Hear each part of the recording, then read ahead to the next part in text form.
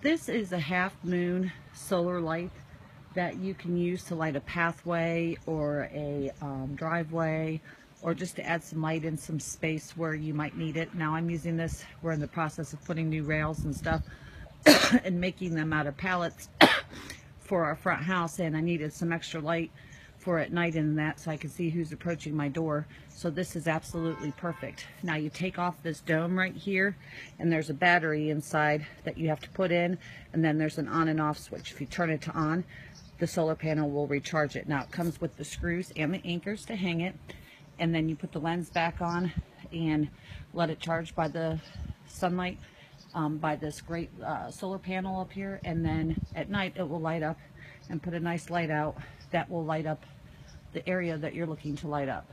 So I'm very pleased with this. It's very durable. It was easy to install as I did it myself.